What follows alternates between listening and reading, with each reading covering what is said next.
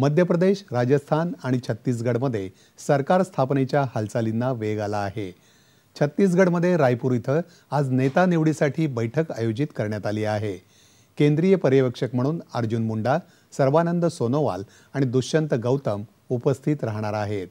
मध्य प्रदेश आणि राजस्थानात उद्या नवनिर्वाचित आमदारांची नेता निवडीसाठी बैठक होईल. विनोद तावडे आणि राजनाथ सिंग या बैठकीला निरीक्षक म्हणून उपस्थित राहणार आहेत.